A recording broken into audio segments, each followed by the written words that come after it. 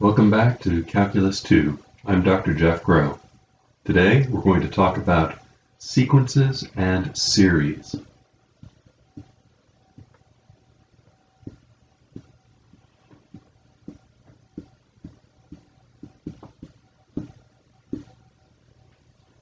Intuitively speaking, a sequence is a list.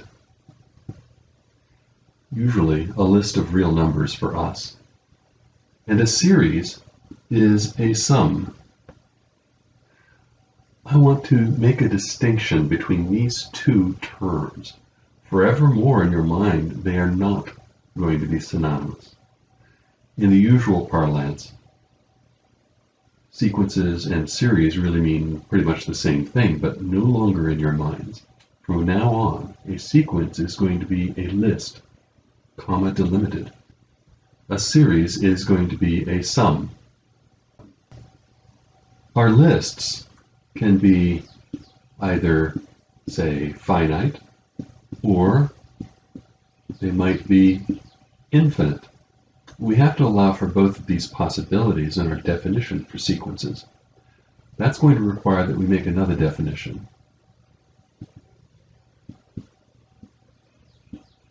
By an initial segment,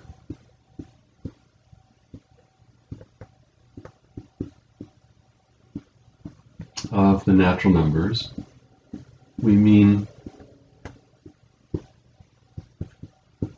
a set of the form 1, 2, 3, up to some number n. So we have a the first n natural numbers and then we stop. That's what an initial segment of the natural numbers is. So, a sequence is a function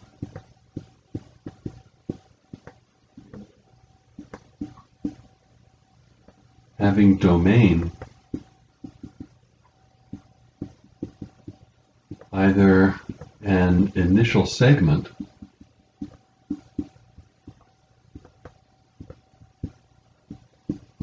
of the natural numbers or equal to all of the set of natural numbers. If the domain is an initial segment,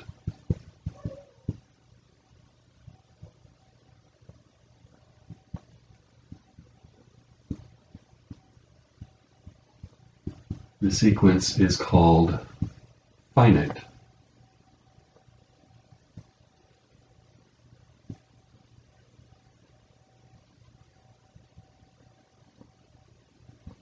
Otherwise, it is infinite.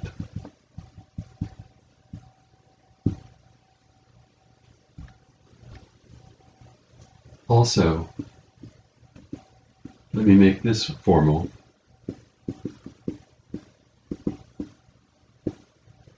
Sub n is going to be f of n for us. That's our function notation for sequences. Let me give you an example. Let's suppose a sub n is 1 over n squared. Then a sub 1 will be 1. a sub 2 will be 1 fourth. a sub 3, 1 ninth, and so on. Let's look at another example. Let's suppose I give you the list 2, 4, 6, 8, and so on. You can see then A1 is 2, A2 is 4, A3 is 6, etc.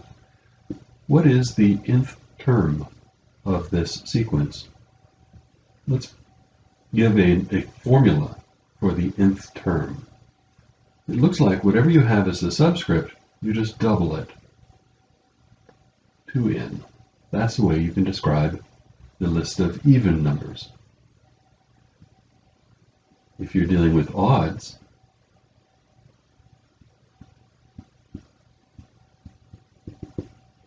then how can we describe the nth term now? These are just one less than before. So how about 2n minus 1?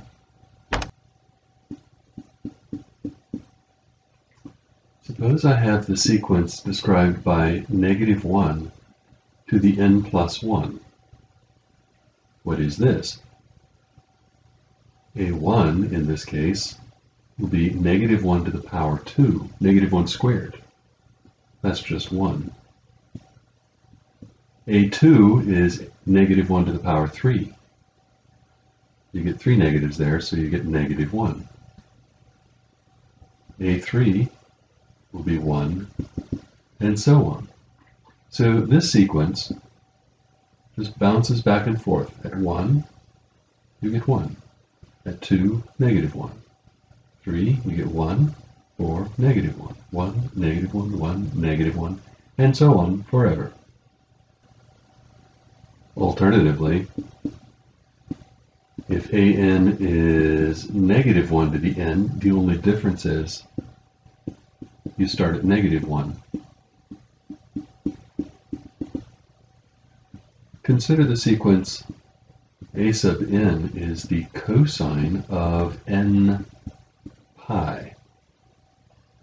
Notice that when n is equal to 1, we have the cosine of pi. If you think about the graph of cosine, at pi, you have a height of negative 1. a sub 2 is the cosine of 2 pi. That's 1. a sub 3 will be negative 1, and so on. I want you to remember the cosine of n pi is negative 1 to the n.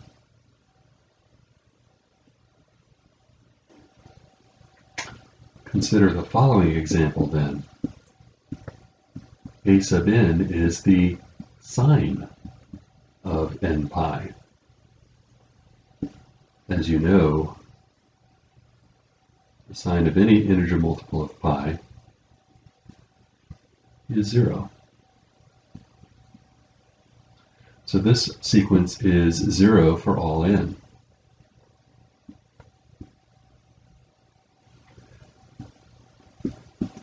If we look at a sub n equals 1 minus 1 over n, you can see that a1 is 0. a2 is 1 minus a half, which is a half. a3 is 1 minus a third, 2 thirds. 1 minus a fourth next, that's 3 fourths. If you find a common denominator and subtract, you'll get n minus 1 over n, which is what we're seeing here. What happens in the limit as n goes to infinity of an?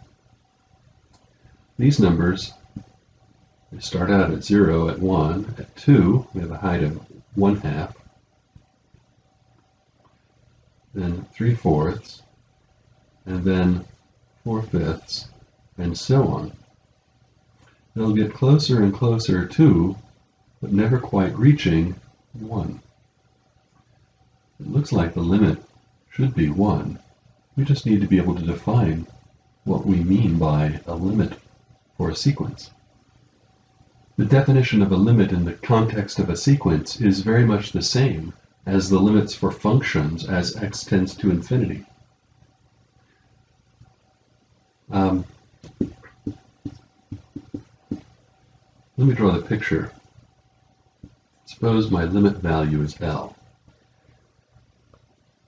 The idea is that if we can go far out enough, we can get as close as we want to the limiting value. And if you stay out beyond that distance, you won't stray more than epsilon away from the limiting value.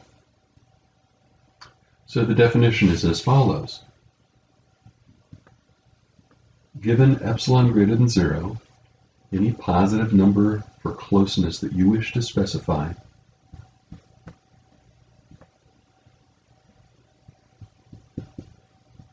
there exists some natural number n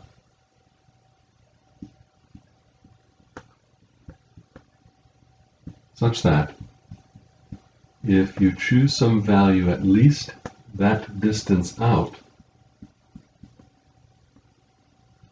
then the difference between the sequence values and the proposed limit value will remain within epsilon units.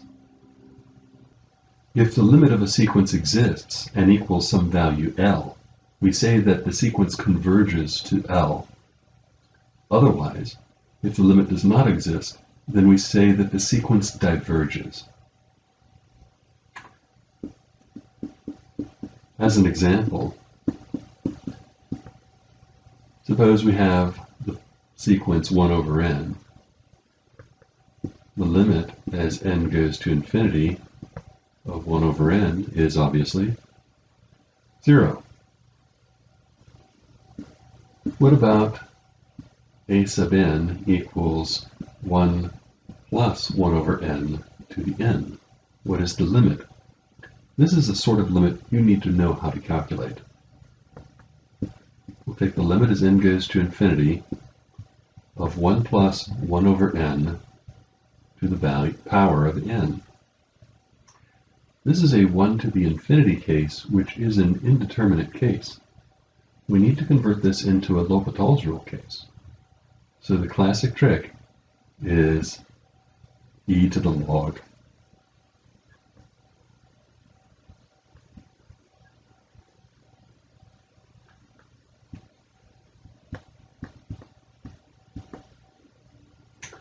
We can use properties of logs to get access to this exponent, which we're going to put out front.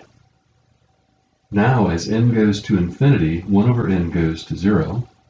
We get the natural log of 1, which is 0, times infinity we have a 0 times infinity case, which is still not a L'Hopital's rule case, but it can be made into one. Also note that limits pass through continuous functions, and since the exponential function is nice and continuous, we can pass the limit into the exponent.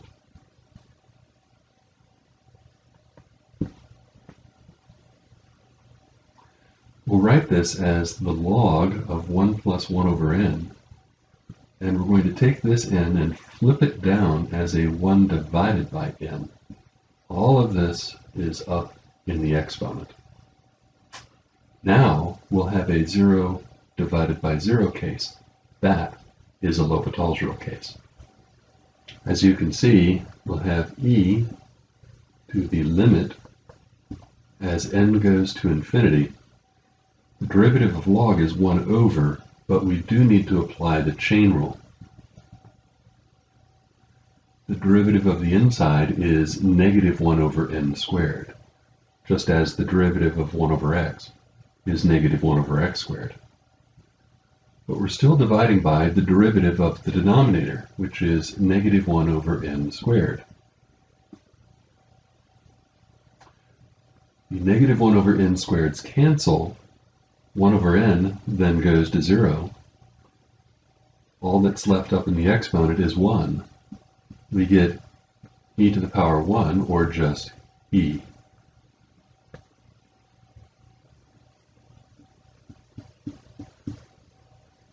If we try the limit as n goes to infinity of negative 1 to the n, well, what do you get?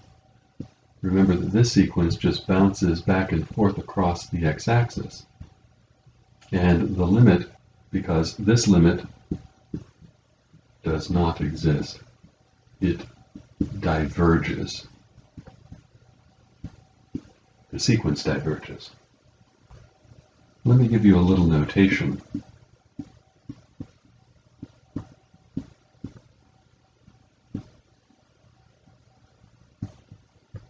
if the limit as n goes to infinity of a sub n is equal to L, we may write, there are several notations for this. One is an goes to L. Another one might be an goes to L as n goes to infinity, being a little more specific. Sometimes we'll just write an goes to L as n goes to infinity, adding the phrase to the side. We can state a theorem very efficiently with this new notation. Let's suppose an goes to L and bn goes to m. Then an plus bn goes to L plus m. Go figure. It should be obvious that if you subtract, it goes in the same way to L minus m. If it's a constant times an, it'll go to a constant times L. And if we have an times bn, it'll go to L times m.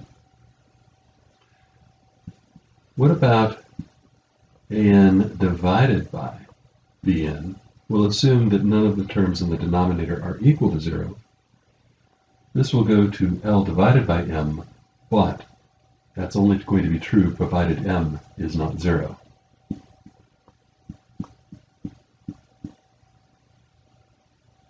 It shouldn't be surprising that since sequences are functions, they satisfy many of the same limit theorems as functions that we studied back in Calculus 1. So just like in Calculus 1, there is a squeeze theorem. If an is less than or equal to bn is less than or equal to cn, and an goes to L, cn goes to L, then bn must be constrained to go to L as well. As a quick example, suppose we have um, negative 1 over n, that's certainly less than or equal to negative 1 to the n over n, and that's less than or equal to 1 over n. Since 1 over n goes to 0 as n goes to infinity, the sequences on both ends here go to 0.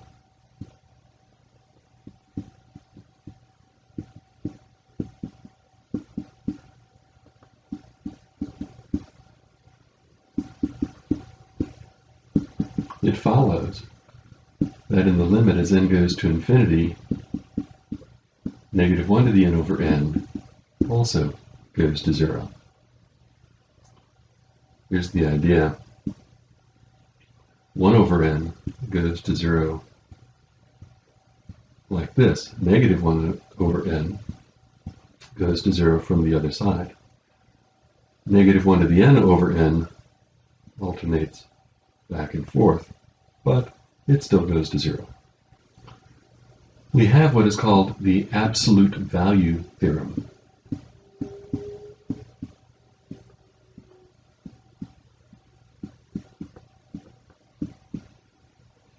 It says that if the absolute value of some terms in a sequence goes to zero, then the terms of the sequence itself must go to zero. The proof uses the squeeze theorem. AN is trapped. It's trapped between the absolute value of AN and minus the absolute value of AN. Now, if the limit of the absolute values is zero, then the negative of the absolute values is just negative one times, a constant times this other sequence. Since the sequence of the absolute values goes to zero, we take negative one times that limit, negative one times zero, this too must go to zero.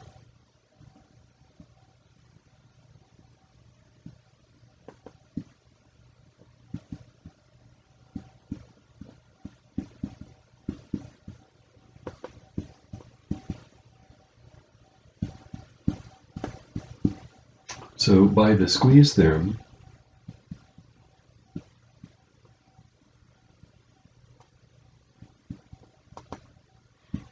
an goes to zero as well, and that's it. Let me give you an example.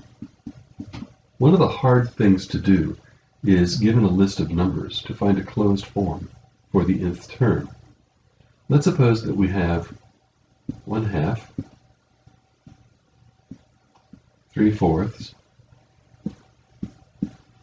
5 eighths, 7 sixteenths, and so on. What is the nth term? The denominators are all powers of 2. So 2 to the n seems like a good fit for the denominators. The numerators are all odd. So 2n minus 1 would be a good fit there. And that's the formula for the nth term. Let's try that again. Let's start with negative 3 over 1. And then let's do 9 over 2. Uh, negative 27 over let's say 6, positive 81 over 24, negative 243 over 120. Do you see the pattern? It might help if I told you 1 factorial is 1, 2 factorial is 2 times 1 and that's 2. 3 factorial is 3 times 2 times 1, and that's 6. 4 factorial is 4 times 3 times 2 times 1, and that's 24. And 5 factorial is 120.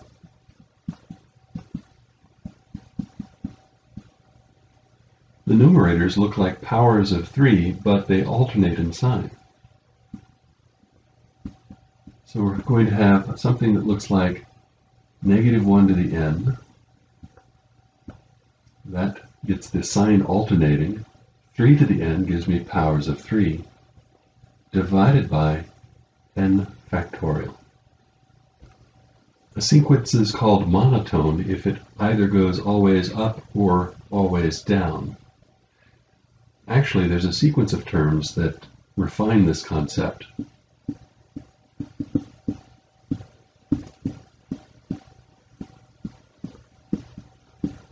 The sequence AN is called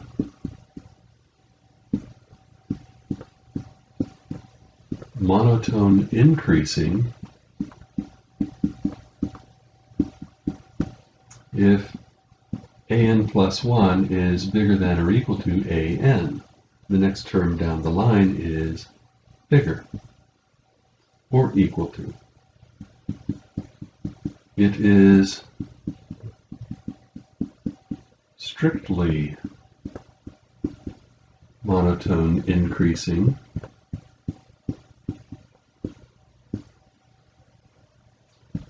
If an plus 1 is strictly greater than an. And then we have other terms for monotone decreasing and strictly monotone decreasing. The sequence is called monotone if it's either monotone increasing or monotone decreasing. So for example, if a sub n is 1 over n, this sequence is strictly monotone decreasing.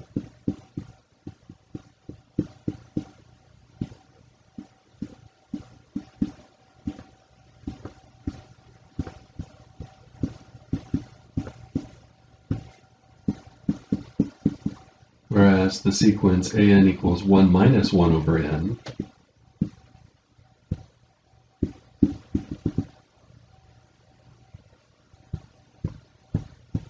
is strictly monotone increasing.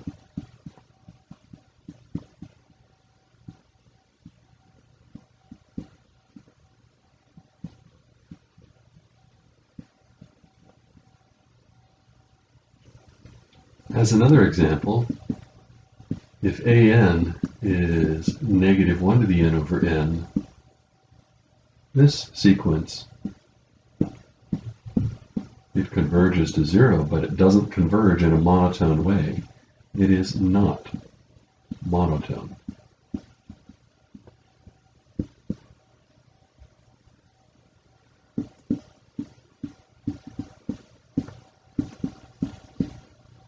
A sequence is called bounded above. If there exists a number m such that an never rises above m. We call m an upper bound.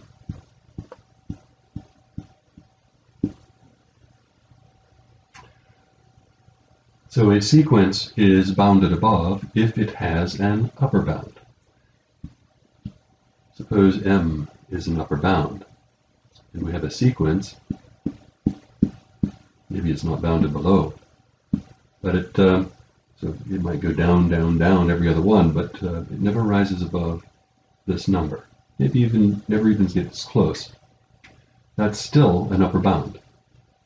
You can see that if a function has an upper bound, it could have more than one upper bound. Any number bigger is also an upper bound. There is, of course, corresponding definitions for being bounded below and lower bounds.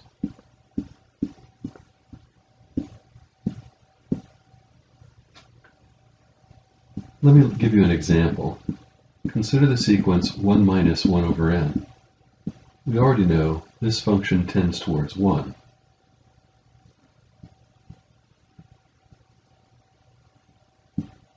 Is 2 an upper bound? Sure, 2 is an upper bound.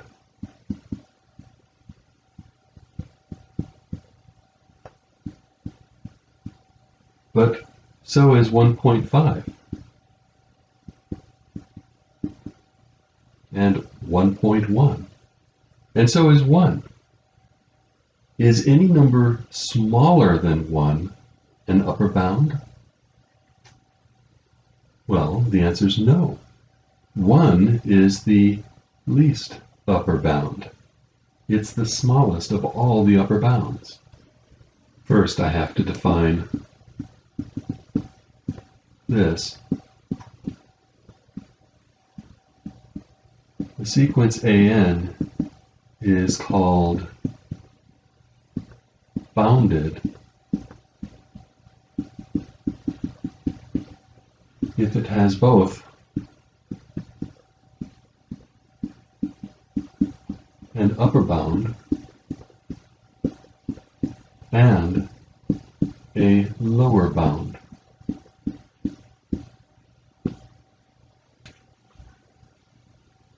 Now,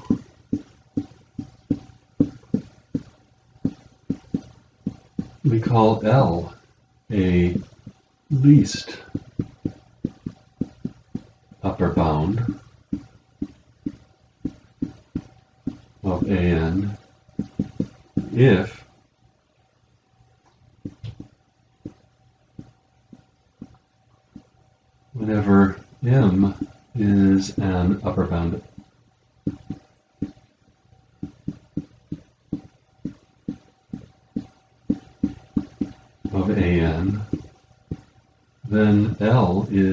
less than or equal to M. So L is the least upper bound if any other upper bound is bigger than or equal to that L. In our example, an equals 1 minus 1 over n. The least upper bound, which is often denoted by LUB, is 1. M greater than 1 is an upper bound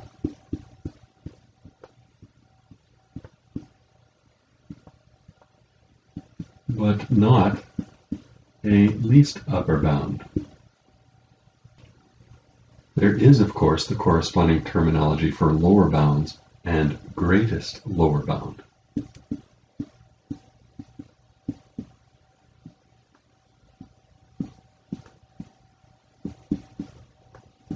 We say that L is a greatest lower bound or GLB if whenever m is a lower bound,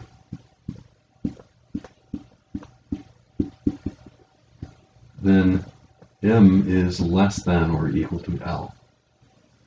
These may seem like very simple and innocent concepts, the least upper bound and greatest lower bound. But the existence of these but the existence of a least upper bound and a greatest lower bound is actually an axiomatic concept in mathematics.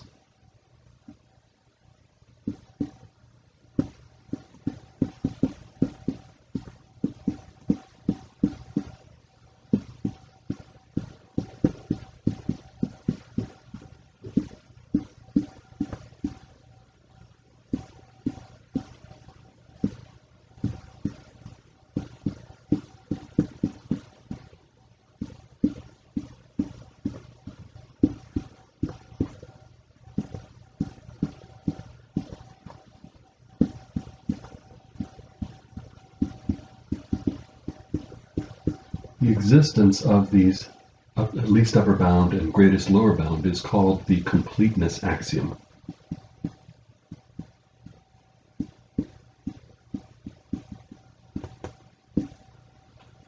This ensures that you can't have sequences that seem to be converging but have nothing to converge to. There has to be something that they actually converge to if they satisfy that epsilon notion of limit following theorem is due to the famous mathematician Weierstrass.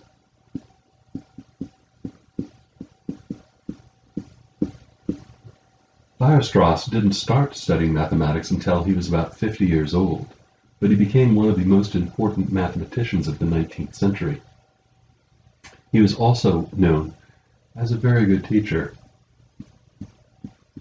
His theorem is, if an is a bounded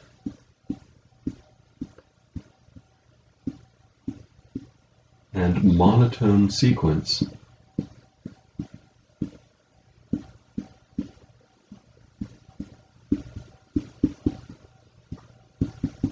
then it converges.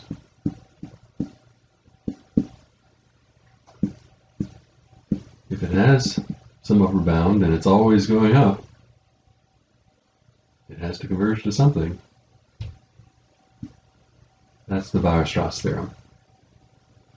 Believe it or not, the discovery of the completeness axiom, the existence of these least upper bounds and greatest lower bounds, was an important milestone in mathematics. Mathematicians couldn't claim to properly understand the notion of real number itself until they had that completeness axiom. It's been shown that the real numbers are the unique complete ordered field up to field isomorphism. Up to some nice level of matching between fields.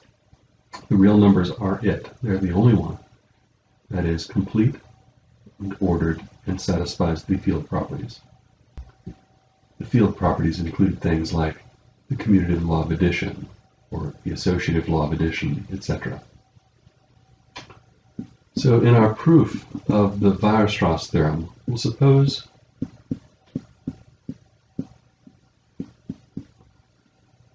that AN is monotone increasing for definiteness.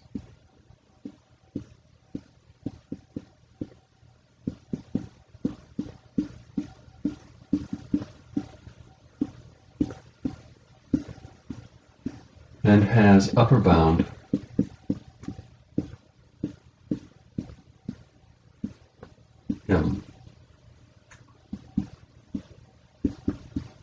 the completeness axiom,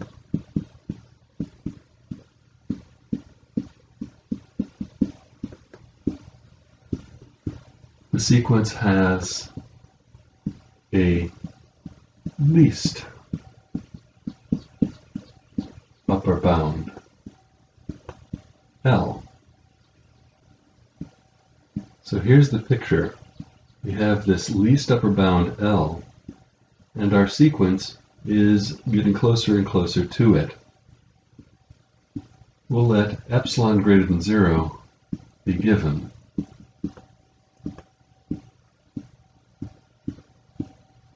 Since L minus epsilon is less than L, L minus epsilon is not an upper bound. So if we choose some epsilon, L minus epsilon won't be an upper bound. It will have to, the sequence will have to rise above that value some time, somewhere along the line.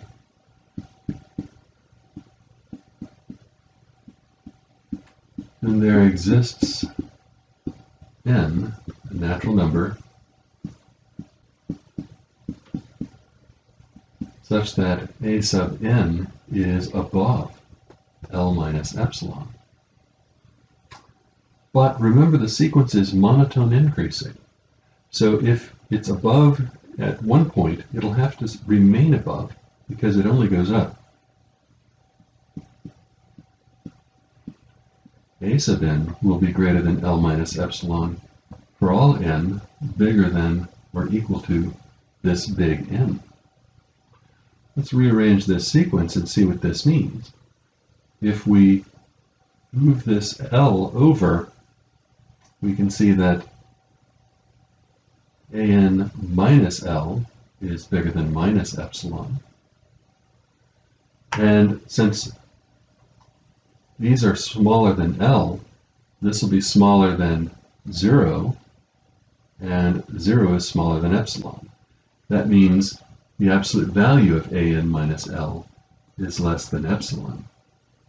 But now we've just shown that the limit of the sequence an is equal to L.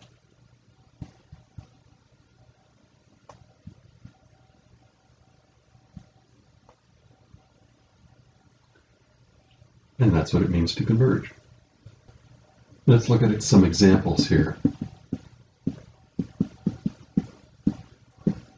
The sequence 1 over n is both monotone, it's monotone decreasing, and bounded.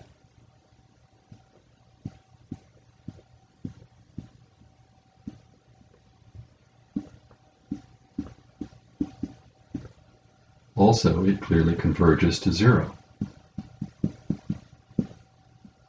n squared over n plus 1 equals an. What does this sequence do? At 1 you get a half. At 2 you get 4 thirds. At 3 you get 9 fourths. This thing's going to keep going up, up, up. It's monotone but it is not bounded.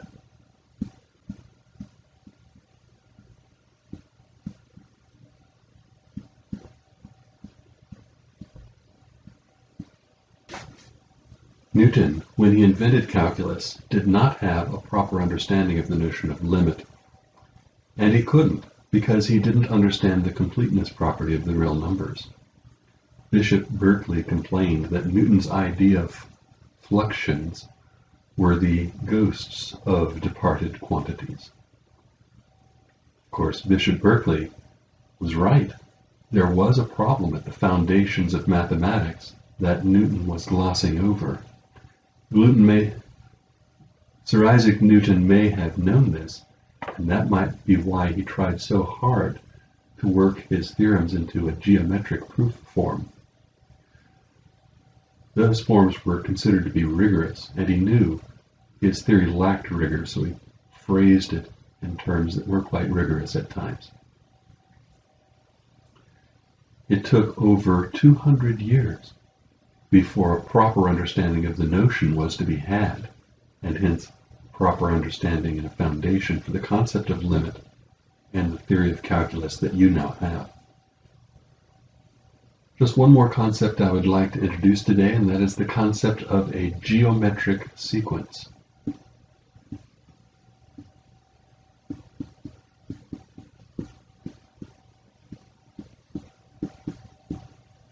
The idea of a geometric sequence is that you start with any number you wish. The next number is the previous number times some factor r called the common ratio you keep multiplying on factors of r to get to the next term in the sequence. In this particular setup, we have a1 is a, a2 is a times r, a3 is a times r squared, and so on. The closed form will be an is a times r to the n minus 1. It is sometimes customary when dealing with geometric series to start with 0 instead of 1. That way, the index and the power will match. And that's okay, just as long as you're dealing with a set that has a definite beginning and increments by 1. Here's an example. Suppose A1 is 3, A2 is 3 halves, A3 is 3 fourths, and so on. You can see that a2 divided by a1 is a half.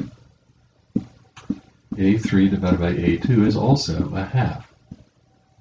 The common ratio is 1 half. So in this particular sequence, an will be 3 times 1 half to the n minus 1.